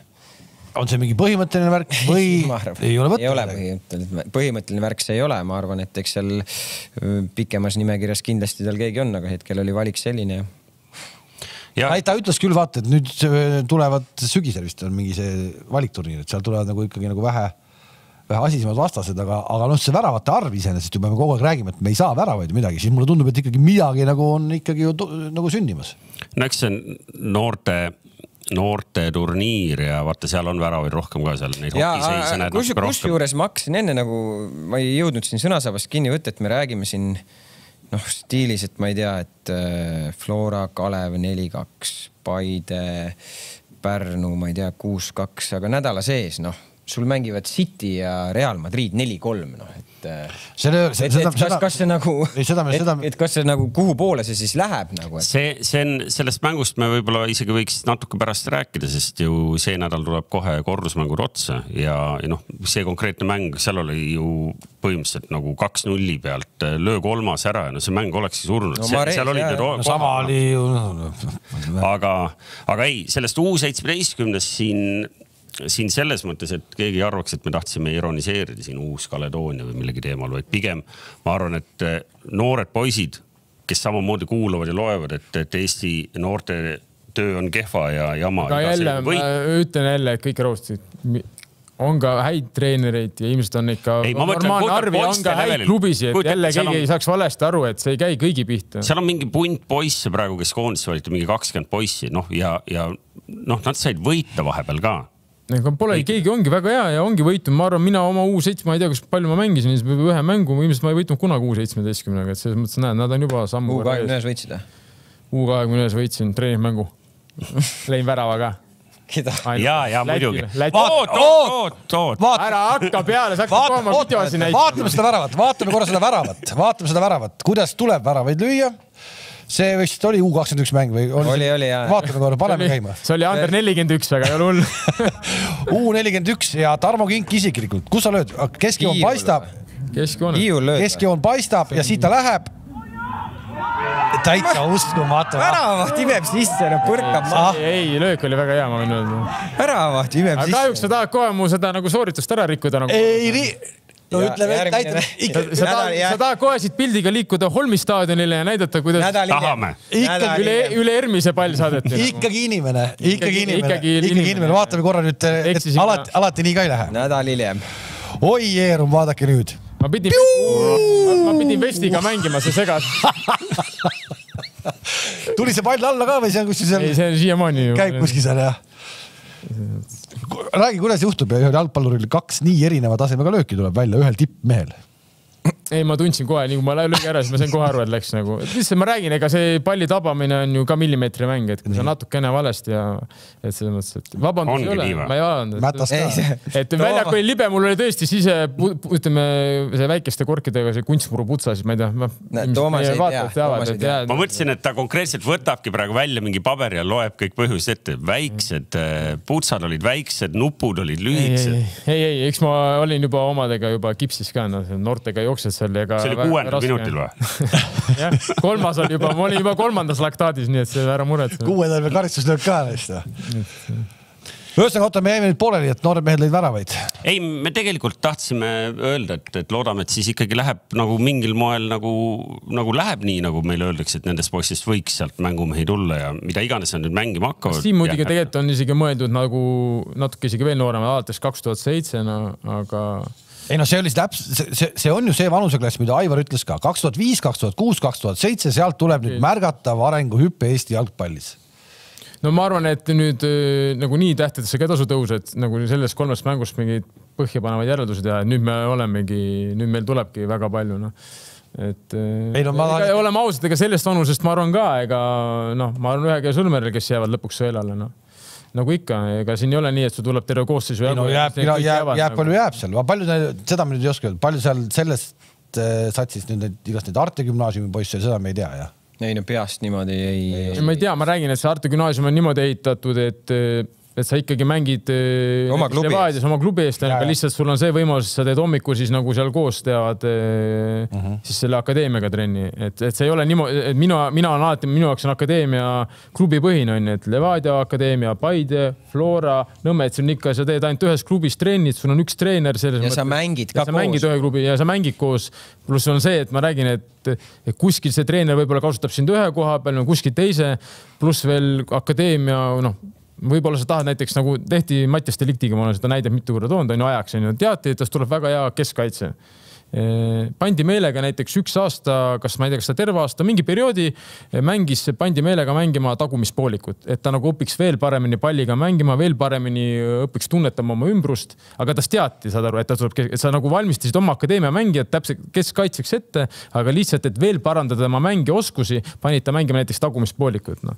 no vaata et nagu see... Toomast ju vaata valmistati ette vaata selliseks nagu agressiivseks pressijaks nagu. nii kui lahti mängitakse kohe Vara, nii kui palju sa paned sprindiga. see oli nagu see koer, vaata, mis autos on sul on see või? ei ole, aga ma olen näinud, vaata. kuule, aga enne veel, kui me siin Eesti jalgpallijutud äh, nagu otsad kokku tõmbame, siin oli eelmisel nädalal oli järjekordne Jalgpalliliidu ja klubide dialoog kohtumine ka, mis seal räägiti?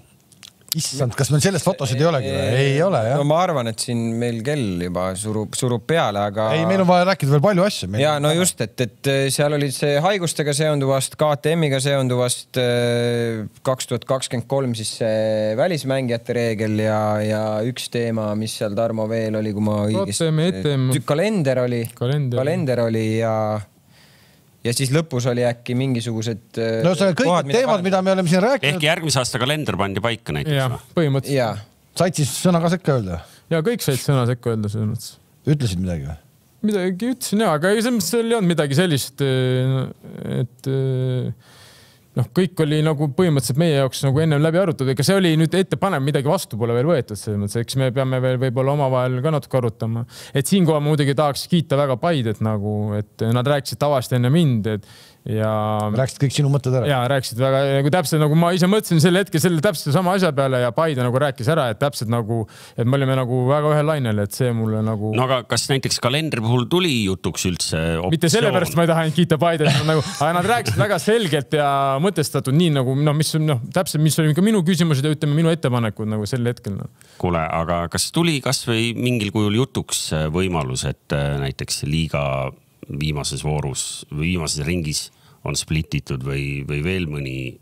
no see käis korra läbi, aga midagi väga me seda nagu ei, ei, sellele üleliia me seal ei arutanud jah, et läheb ikkagi samamoodi, et on kolmkümmend kuus mängu ja, ja kaks tuhat kakskümmend kolm. ühesõnaga, te ikkagi ei taha seda split imist ise ka, kui te isegi ettepanekut ei tee, siis te tegelikult ei taha seda split imist. Te tahategi lihtsalt keerutada valitsi siin äh, nende tagumiste satsidega hooaja lõpuni välja ei no seal hakati, ei, mina olen nõus, ma oleks nõus selle splitiga, mul ei ole probleemi, aga seal hakatakse juba jahuma mingi mänguaegadest, toodi mingeid näiteid seal, mis minu jaoks tegelikult ei näita mitte midagi, sest et kui ma võrdlen Flora Narva, ma ei saagi võrrelda, sest et seal on pandud ka koondise mängud, no sul on kuusteist venda koondises, seal ongi täpselt võetud kuueteist venna põhjal nagu no sul tuleb tuhat minutit juba ainuüksi sellega juba juurde nagu, et noh, pluss veel no mängisid eelmine aasta ka Euroopa liiga, mitte konverentsiliigat, siis tähendab noh, et loogiline, et sul on neid mängude arve, minutid on palju, aga noh, okei okay,, ma saan nendest aru, nad tahavad paralleeli tuua siis ütleme Euroopaga, et palju neid minuteid võiks olla no et Splitiga vist mingi no,, mitte ainult see, seal mänguminutid ja midagi oli veel, et miks,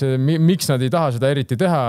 praegu kohe ei tule meelde, et peab üle vaatama, et see on ega nendepoolsed seletused on mingid ka nagu loogilised, et ei ole päris nii, et nüüd nagu eh, me, me, me. ei, väga selles suhtes väga okei okay, arutelu, arutelu, väga, väga hea nagu see et, kohtumine oli. ja, et ma arvan ka, et ei olnud mingeid probleeme, korra ma jäin härra Aivarile hambusse nagu, aga kui tegelikult ma ei mõelnud üldse midagi irooniaga, aga. mis teema oli? Kalendri teema vist oligi seal esiliiga, esiliiga, esiliiga kohtumisel. me panime kaks päeva veel. et ma ütlesin, et no rääkisime suvest ja tegelikult ma nagu absoluutselt ei mõelnud see moment, see Pärnu esindaja ütles, et nagu suvel mäng, suve midagi, et suvel nagu võiks nagu olla paus, ma ütlesin, et me suvel ei mängigi või kuidagi niimoodi. ja siis ma muidugi sain natukene pikki päid, et miks sa jälle hakkad peale, tegelikult ma see moment ei mõelnud midagi sellist, et. ühesõnaga ei tohi peale hakata. ei tohi jah. aga oled sa juba mulle kihlveo asjad valmis ostnud või? Me... oi, ma mõtlesin, ma saan sulle peale esimest kahtekümmet minutit, et kuule, sa võid no. Värska juba peale esimest mängu ära tuua. aga. Värska, kas te nagu Värska? ei no te, mina pean talle õlle viima, aga ma ei joo õlut väga. oota, kas see oli ühe mängu peale või edasimineku? edasimineku peale, edasimineku peale. ühe mängu oleks kõik selge, ei uskumatu ja, et sellised meeskonnad nagu no neli-kolm, no Joppenbuchen, no et äh, City löö see mäng ammu maha. oota, ei King pani Real või? ei, mina panin Real ma ju, ma läksin ju lihtsalt selle peale, et olla vastu, ta ju rääkis kõik ära, kuidas mitte mingit šanssi Realil ei ole. ja sellepärast ma lihtsalt läksingi, et olla natukenegi vastu. no tegelikult mul oli peaaegu õigus. sul on hapu jah. ja nädalavahetusel. sa mõtled, et eh, City ei lähe edasi või? ei, City läheb kindlalt edasi paarist noh selles mõttes see, ma ütlesin, et ma ainuke, mis ma eksisin, Benzema ei saa löögile, ma ütlesin, et ilmselt tuleb neli lõi kaks vist päris räigelt, nüüd lõi kodus ka, nüüd kui nad äh, meistritiitli no. Nad said meistritiitli ja, ja, see Carlo Ancelotti on ikkagi nagu fenomenaalne vanamees, midagi öelda ei ole, mis ta. loed ette või? kõik liigad on võitnud jah, kõik suured, no premiumit veel ei ole, aga see tuleb tulevikus kunagi. aga põhimõtteliselt kõik suurt on ainult käes. mis mõttes premium? Premium-liigas ei ole ühtegi meeskonda juhendatud. siin või et, äh, et noh, see on kõva sõna ja, ja, ja selle Realiga ta on kõva nagu vett ja vilet näinud ja praegu see tuhh, mis seal sees neil on. no ja, ja veel sellised mängud, nad imevad selle veel mänguks, no neil oli no. õnne veerandfinaalis, neil oli, oli enne seda üks. no nagu mängu kaks, ei ole. mängu ei ole neil jopab Pariisi vastu, no seitsekümmend viis minutit nad ütleme kaks mängu isegi rohkem, no ma ei tea, sada kuuskümmend minutit on üks puntsus selgelt parem ja viimased kakskümmend minutit ja sellest ma ütlesin ka ennem, Real on Real, noh. ja jälle nüüd, no City vastu sul ei ole, no vaatad lihtsalt, millal see kolmas lüüakse ja kõik korras ei, seal löövad kaks. selline tunne mängu. seal nagu mängu algus on, et need vanemad nagu härrasmehed ei saa seda nagu ennast mul tööle jah. niidiga nagu... meil on sama no. Teil peab ennem mäng ära, kui te tööle saate. ongi kusjuures, kurb. oh juba läbi. et, et eh, see on nagu hea müstika ja siis nad saavad käima ja mängivad ja. ei no mängu algus kindlalt, City kägistab, täitsa kägistab ära nagu, et ei ole varianti. ja see oligi see, mida ma mõtlesin, kuidas see mäng lähebki, seda ongi ja see Benzema ei saagi löögile, nad ei saagi, ta istubki oma poole peal, nii kui ta saab selle palli, tal oleks kontaktis, võetakse ära ja see oligi minu nägemus, niimoodi City see mängu ära sööbki, aga näed aga oli ikkagi nagu jälle nagu ikkagi ilus mäng, noh, igatepidi äge. No, selline lustakas. ta on ikkagi nagu, nagu. eriti kui sa kummagi poolt ei olnud konkreetselt. kui sa City Atletico Madrid tahtsid rahulikult tuima näoga ära panna. ei tahtnud, kordusmäng ei, ei, ma räägin City Atletico, Atletico Madrid, Madrid kordusmäng si. kas sa uhuu oled või? kodumängust Cityl City mängis kodus, mäletad? see ja, ja okei okei see oli kõige igavam mäng, ma arvan, läbi viimase kümne. aga kordusmäng oli hea ju. kordusmäng on väga hea, eriti viimase kümme minti kus ei, kus ei mängitud. ütleme ära siis praegu ka, et Betsafe'is on äh, koefitsiendid juba saadaval, homme mängivad siis Villarreal Liverpool, millest me veel rääkinud ei ole, see tundub ikkagi, et midagi teha ei ole, et Liverpool ikkagi on nii nii tugev, et no raske on nagu näha sealt, eks. Villareali võit neli koma kaheksakümmend, see on siis mänguvõit. neli koma kümme on viik, üks koma seitsekümmend kaks on Liverpool ja Real Madrid, Manchester City siis kolmapäeval. Reali võit kolm koma kolmkümmend meenutame, seal oli seitse vist oli äh, esimeses mängus või? ja, jah, seitse, kümme. praegu kodus mängides kolm koma kolmkümmend, viik neli ja City võit kaks koma null kaheksa. City läheb sellele mängule ka nagu täisfavoriidina peale no,. üldvõitja, meistrite liiga üldvõitja, Liverpool kaks City kaks koma kakskümmend, Real Madrid kümme ja Villareal kuuskümmend. oota, kas ma sain õieti aru, et te nagu kõik arvate, et, et tegelikult City läheb edasi? no mina arvan ka, et City läheb mina edasi. Läheb City edasi. ma vaatasin eh, natuke selle mängu statistikat, selle esimese mängu statistikat ka, et kui see nagu justkui tundus, et see City nagu ülekaal oli nagu metsik nagu, tegelikult seal löögid olid äkki kuusteist, üksteist City'le ja raamilöögid olid seitse-viis ja mõlemad võistkonnad võtsid ainult ühe kollase kaardi, et et tegelikult nagu noh, nii mänguliselt nagu mõtled, et no seal ei ole nagu, et statistiline, statistiline pool on kõik Cityl, aga tegelikult. ei, noh, jah noh, Fernandinho ja Stones, noh, seal olid äärekaitsjad no,. minu jaoks ongi ainukene see... murekoht, et eh, kuidas City nagu äärekaitsjad, kui on, no ilmselt ma ei tea, Walker ilmselt on katki, aga Cancelo saab mängida, see on kõva pluss neile.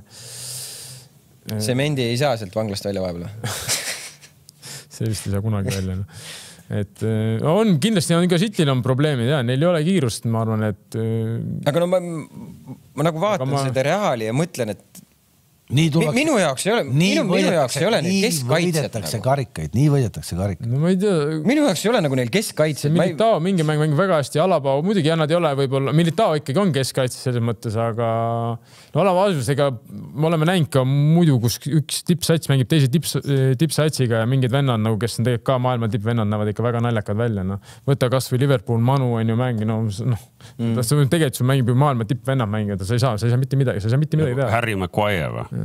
Põhimõtteliselt sa näed sama hull välja, nagu ma nägin koondisest välja, kui ma mängisin, noh.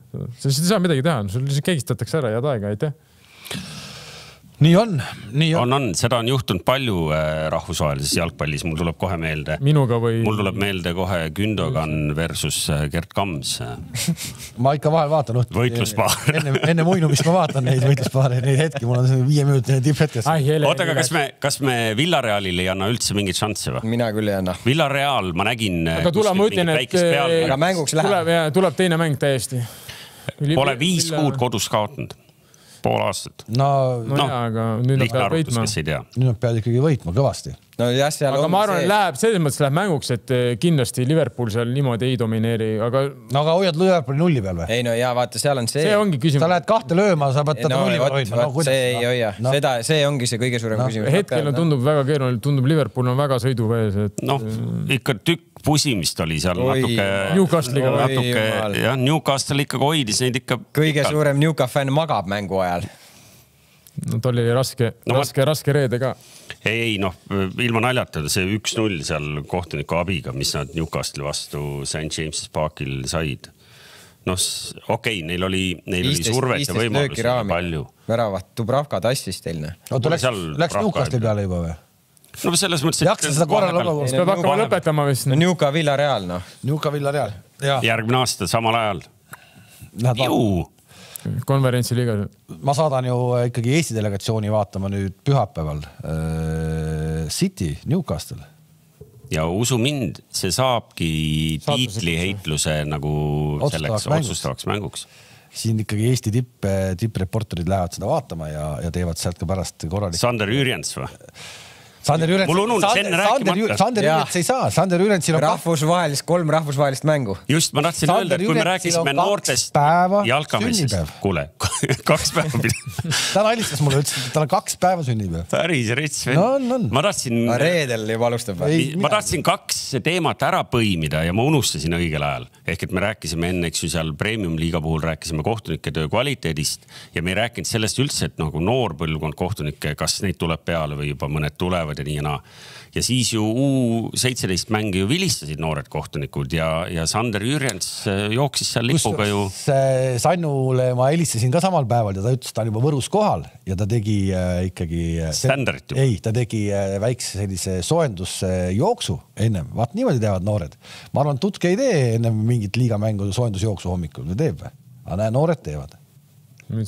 tublid oota, üks teema oli midagi veel, tahtsime rääkida või ei tahtnud või? No me tahtsime öelda seda, et, et Inglismaal on endiselt kõik lahtine ja, ja mis on võib-olla seal. ei, kuidas ei ole ju lahtine selles suhtes, et üleval noh, all on ka ju Everton ju. ei, Champions liiga kohad on ka lahti. ja ma just tahtsin, ma, ma tahtsingi äh, nendest äh, neljanda koha peale, et seal on nagu põnev andmine just selles mõttes, et äh, Tottenham ja Arsenal, me jõuame seda ilmselt veel millalgi rääkida, kaksteist mai on omavaheline mäng, mis suure tõenäosusega võib otsustada, kes saab neljandaks City järgmine vastu on Newcastle, Newcastle võib otsustada tiitli. no selle Liverpooli mängu põhjal ma ei näe nagu. ja Liverpoolil tuleb järgmine nii ehk naa tuleb raske, sest Tottenham on siin näidanud, et, et nende just nende kõvade vastu on, on teinud häid mänge. Real tuli Hispaanias meistriks. Karol Mets tuli Šveitsis. just seda ma tahtsingi öelda, seda ma nüüd ootasin, millal sa lõpetad oma loba tahame ikkagi õnnitleda. Karol Mets, palju õnne, Šveitsi meister. jah, ja kõik. huvitav, kas äh, alet ka tehakse või? Seitsekümmend viis protsenti. kood on. ei, ei, ei ütle koodi. FCZ seitsekümmend viis. koodi ei ütle. mis kahju on sul või? Ei no seda neil pole nii palju see on suhteliselt väike kelder ühesõnaga eh, Metsale palju õnne ja, ja kui sa kunagi kodumaale satud, siis eh, klatime. Hispaanias on nii palju, on veel põnev, eks ju, et, et seal on samamoodi võimalik veel, et seal neljanda koha peal midagi juhtub, sest Atletico. on täitsa ju neli mängu kaotanud või? Ehm, ma ei tea, kas päris on, viimati kaotas jälle. ja, ja neil on järgmine on pühapäeval on Atletico Real, eks ju noh, mis ei ole ka lihtne ja, ja seal on täna õhtul mängib äh, Real Betis, kes on nendest äh, kolme punkti, kolme-nelja punktiga maas, nii et seal läheb igal juhul veel põnevaks. Juve Inter mängivad siin nädala pärast. Prantsusmaal on selge, Messi viis meistriks no,. aga sa loe kokkuvõtte siis. Ikkagi tunnistate jälle, mõtleme selle sügisese saate, ma ütlesin, et, et Ronaldo lööb rohkem kui Messi. no jaa, aga Messi ikkagi lõi meistriks nagu no Ronaldo lööb niisama Norwichile ja mängib seal üheksanda koha peale nagu sellises pundis oleks lihtne mängida Messile onju. Messi lõi küll neli, aga jälle, jälle millise meistri oli, jälle lõi väripäev. neli väravat, neli väravat liigas. Prantsusmaa liigas, ei ole mingi naljaliiga, see ei ole naljaliiga. väga selline jõuline ja selline. ikkagi tuli, läks, lõi ära, ära. kuulspordipalliga pead mängima vaata. jälle helistab, et iga aasta meister, kurat noh ilmselt siis see, et ta selle värava lõi, siis on nii-öelda jalgpall, kuldne jalgpall tema oma jälle, jah? no ikkagi suure tõenäosusega liigub, liigub sinnapoole no kes arvab, et äh, Prantsusmaal ei ole üldse enam midagi jälgida, siis tegelikult seal peab meeles pidama, mis paljude jaoks on võib-olla üllatav, et äh, Prantsusmaal pääseb otse meistrite liigasse ainult kaks esimest ja kolmas läheb juba Mm. Eelringi, nii et. Äh, seal on põnev. noh, ah, seal BSG selja taga on põnev. ja oota, nüüd kui me juba läksime, kes saab ja kes ei saa, siis äh, Levadia sai teada, kus ta mängib enda mänge. loosiga oli see jah ma ei saa, ma, no, ma, ma, ma päris, ma päris täpselt sellest ikka aru ei saa, et kui, et kuidas see nagu on, et. kuidas see loosik, kui meil on pakkuda kaks muruväljakut. kui te pakute muruväljakuid ja siis antakse nagu, antakse nagu äh, kunst, ma ei saa sellest päris täpselt aru. no ma tean küll, kuidas see käib. no kuidas see käib no. ma ei hakka oma teooriat rääkima. soojendatud pallidega nagu vanasti või? soojendatud pallidega, ei. ühesõnaga lähme Islandile naudime kliimat. mis seal ikka päris valus tegelikult onju. väga valus, nagu täitsa nali nagu minu jaoks on. esiteks palju mõnusam kõigil, kes tulevad sealt reisida siia, kui sõita kuhugi Islandile. soojem ilm on ja mõnusam kliima. hea kvaliteetne muru on ju. Kreenholmis, Kreenholmis oleksite pannud esimese selle pooliku. Nagu, ma, ma ei saanudki aru sellest. kõikide satside logistika poole odavam igatpidi noh, tegelikult on siin tõsi Is. Islandi pundi oleks kohe poolfinaali saatnud mängima Kreenholmi onju, ise oleks jälle Kokil mänginud Toomas, väikese viktoriini, viktoriini küsimus ka sulle. Äh, mul on ka teile viktoriin. on või? mul, ma küsin enne ära. nii. Türgi meister ka selgus nädalavahetusel, kes sai? noh no mina muidugi tean. see on nii keeruline nimi, ma tean. See, see... Ma, ma tean kõiki jalgpallis. Trabzonspor. Trabzonspor, nägite seda pidu, mis pärast. oota, aga mis, mis emotsionaalne side sul nendega on? no ta tunneb seda Edin Viskat sealt Bosnia koondisest. oma, oma, oma bratannid seal äh,. mul on ka viktoriini küsimus, et ma ei tea, kas kaamerasse paistab, mul on siin äh, Eesti jalgpall pildis Lembit Peegli raamat, mis siin mõni aeg tagasi on ülitatud. ja viktoriini küsimus kõlab nii järgmiseks korraks või kuhugi siia vastake, ma ei tea, kuhu see on kuulajatele, see ei ole teile, sest äh, et siin äh, raamatus on pilt, äh, piltidel kõik stuudios olevad mehed välja arvatud üks, kes ei ole pildile saanud, et vastake siis Betsafe'i Facebooki. kui siin juba südame puistamiseks läks, siis ma tänan ka Andres Sõpra raamatu eest, et aitäh sulle, et kindlasti on väärt lugemine, ma tänan. jah, Andres Sõbrale tervitused sinna kaugele Atlandi ookeani taha nii on, ühesõnaga täna sai nii. Äh, nädala pärast oleme tagasi, selleks hetkeks on äh, Paide mänginud mitu korda Floraga? kaks. kaks nii et. ma ei... ütlen juba e kohe. juba ütled, ma ei tule või? ei, ma lähen esmaspäeval Taani. ütled ette või? esmaspäeval ma lähen Taani. sind ei ole jälle või? jälle, sind ei ole jälle või? sada prossa veel kindel ei ole. oota, sätime kõik komandeeringud pärast Flora mängu. sätime kõik. Levadiaga mängime, mul on komandeering jälle noh. kui ma oleksin meie vaates, ma oleksin, hakkaksin selliseid nõudlikumaid kirju juba kirjutama toimetajale ja ütlema, et noh, et ma tulen nagu saadet vaatama ja Kamsi jälle ei ole mis me teeme? töökohustused. oota, mis, oota, mis sa seal Taanis teed? Lähme külastama klubi nimega Viborg. see, kus nad oma ühe mängija saatsid ka? kuule, te saatsite ühe mängija Tallinna Kalevisse, kes pommitab seal, kas see on nagu spordidirektori nagu halb töö, kui ta saadab nagu head mängijat nagu konkurenti juurde? see on. no selle positiivse noodiga ei, ma ei saanud praegu üldse aru no,. okei siis, siis me kutsume kellegi Florast siia ah,. ei tohi tulla. see Santose võib kutsuda no vaatame, kellegi me kutsume siis, kui on Kams Taanis ja, ja kohtumiseni, kohtumiseni nädala pärast. aitäh, nägemist.